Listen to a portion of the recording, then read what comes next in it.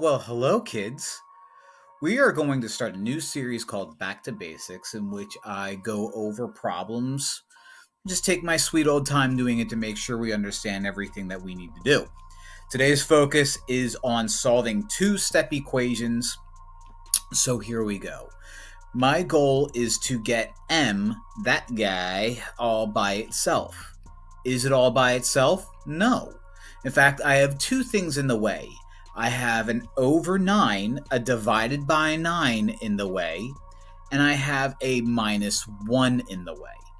So if you're wondering which do I get rid of first, I mean, I have to get rid of the 9 and I have to get rid of the negative 1. Which one should I get rid of first? If your job is to isolate a variable, if your job is to get the letter all by itself, what you need to do is see what you have attached if you have something attached to the letter, like in this case, I have nine literally attached to M, or if you see something that's floating around, like in this case, negative one is floating around, always get rid of the thing floating around first. Negative 1 is not attached to the m. It's floating around on the same side. So I have to do the opposite of negative 1 and do that to both sides. The opposite of negative 1 is plus 1. Plus 1. And then you can cross that out. Why do you cross out the negative 1 plus 1? Because they just cancel each other out. If I owe a dollar but I get a dollar, you know, I'm back to where I started. So they just cross each other out. Now we rewrite what we have. m over 9 did not change, so I'm going to bring down m divided by 9. On the right side, I have negative 2 plus 1. Negative 2 plus 1 is negative 1. Is m all by itself now? No. What's in the way still? Over 9. Over 9 means divided by 9. How do I get rid of divided by 9? The opposite of divided by 9, which is times 9. So I'm going to multiply 9 to both sides. So I'm going to wrap everything in parentheses and times 9 times 9 to both sides. 9 divided by 9 cancels itself out because 9 over 9 is 1. So you basically have 1m, which is what we have on the left, an m.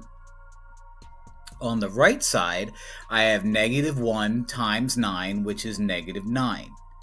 Is m all by itself now? Yes, it is. Circle your answer, m equals negative 9. So again, my job is to get m all by itself. It's called isolating the variable. Now that m is all by itself, I'm good. So if you have something attached and something floating around, get rid of the guy that's floating around first. m again. So I have something attached, which is negative 4, and I have something floating around, which is positive 5. I have to isolate m. Which one should I get rid of first? The thing that's floating around. What's floating around? Positive 5. How do I get rid of positive 5? Minus 5, which is negative 5. Subtract 5. Do that to both sides. Now I write down what's left over. Negative 15 minus 5 is negative 20. Negative 4m comes along for the ride. Okay? And these guys cancel each other out because if I have $5 but I lose $5, I have nothing. Okay. Is M all by itself now? No. What's in the way? Negative 4. How is negative 4 attached to M? It's being multiplied to M. So how do I get rid of a negative 4 that's being multiplied to M? Do the opposite, which is divide. Divide both sides by a negative 4 divide both sides by negative 4 and the negative 4 over negative 4 cancels each other out because they just turn into 1 a number over itself turns into hmm. 1 so i have 1m on the right side. Negative 20 divided by negative 4 is positive 5 so i have positive 5 on the left and i have m on the right. Is m all by itself yet Yes, yes, it is. But I don't like having my variable on the right side. Some people don't mind, but if 5 is m, I'm just going to write out m is 5. Same thing. And M is all by itself. I'm in a rocking chair right now. That's why that's why the light's going up and down. It's not a ghost. It's like I'm riding a roller coaster. Oh no. Oh oh. uh, all right, all right. Let's do a few more. Uh, another two-step equation. Is n all by itself? No. What's in the way? 8. Anything else? Positive 7. Those are both in the way. 8 is attached to n. Positive seven's floating around. Which one should I get rid of first? The guy that's floating around. So the guy that's floating around is positive 7 plus 7. How do I get rid of plus 7? Subtract 7, the opposite. So I'm going to subtract 7 from both sides. 7, take away 7, turns into nothing, goes away.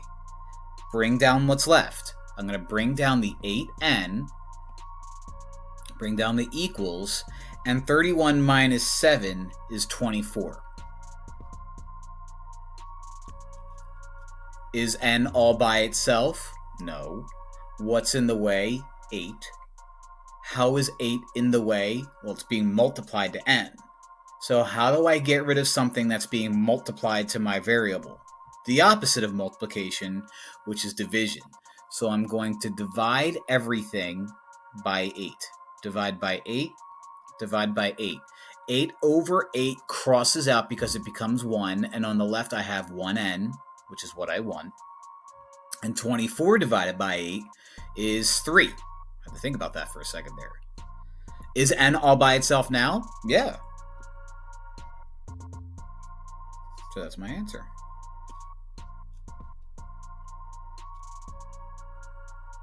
Okay. One more? One more. 6 equals a divided by 4 plus 2 is a all by itself. No. What's in the way? Divided by 4. What else is in the way? Plus 2.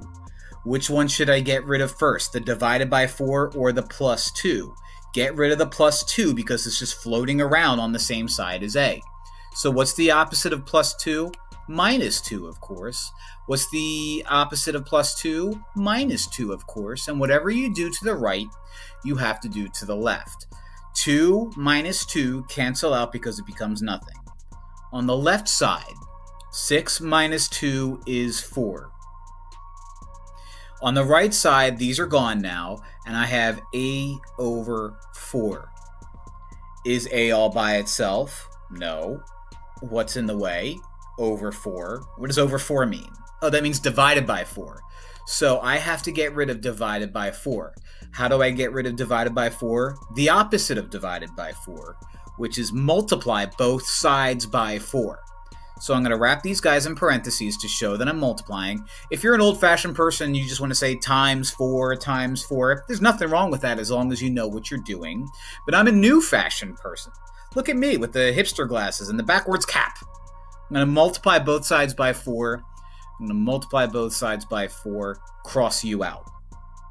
Okay, 4 divided by 4 crosses out because it becomes just 1. And I have 1a on the right. 4 times 4 on the left is 16. Now, 16 equals a.